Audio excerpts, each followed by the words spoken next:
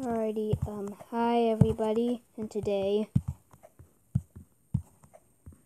I think we're escaping McDonald's. So far, it's not McDonald's anyway. It's like escaping a box office or something like that because it has boxes.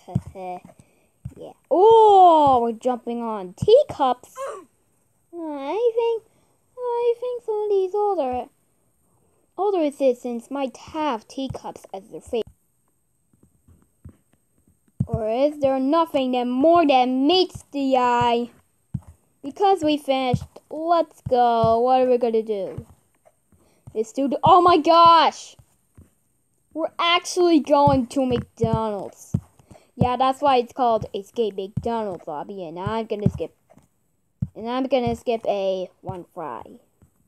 Because because a lot of fries in the can is a perfect deal. Not gonna lie. Now we're jumping back to where we started. Haha, nope. Not happening today. Not happening today, not happening tomorrow, not happening yesterday because we're going in to what do we call it? Oh yeah, McDonald's. Dude, that was. I literally worked myself so hard to be on that next stage. I was literally even even connecting to the last minute. Good. Am I standing on the next stage? Of course I am. Is this a speed run? Okay, it's not. They sure jumps for space. That will never die me. And then, okay, that was easy. Down the first try. it blends in really well. It blends in. It, bl it blends in very well because of all all of these colors that have been disintegrated. Okay, what do we have here? I think the floor might be a lava because I don't see any lava, but now it hurts. Sorry, but we're escaping McDonald's and it turns out then, how am I even sitting on a chair? This is literally weird. That's just great. That, are you kidding me? It blends in very well with all of these. Oh my gosh, I'll jump around to the sides. Okay. Oh, dude! You literally mind-blowing headstander. You literally have a mind-blowing mind on your system. Oh, ah, come on! I don't hate that jump. It's only like the third jump. I think you have to sit. There you go. Sit. There you go. Don't sit. Okay. Okay, that's immediately hard right there. I always go that way. Okay. Sit. Now jump off. Sit. Now jump off. Sit. Okay. Don't sit. Good boy. Good boy. Don't don't don't you dare. Don't you. No! Yes! Okay, then. Ah! And yes! Finally, now I'm I'm immediately done with that stage. And uh after this I'm never gonna play this game again.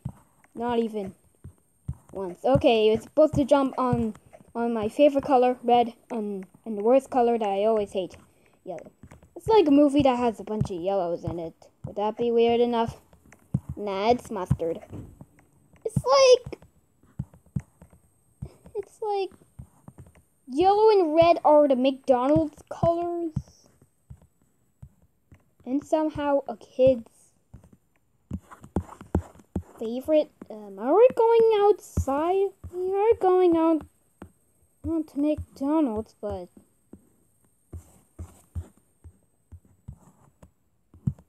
We're supposed to... Wait. I figured this before. You have to go this way. I I really think it. That's that's what I'm supposed to do. I'm gonna go there. That's, that's what I'm. Hmm.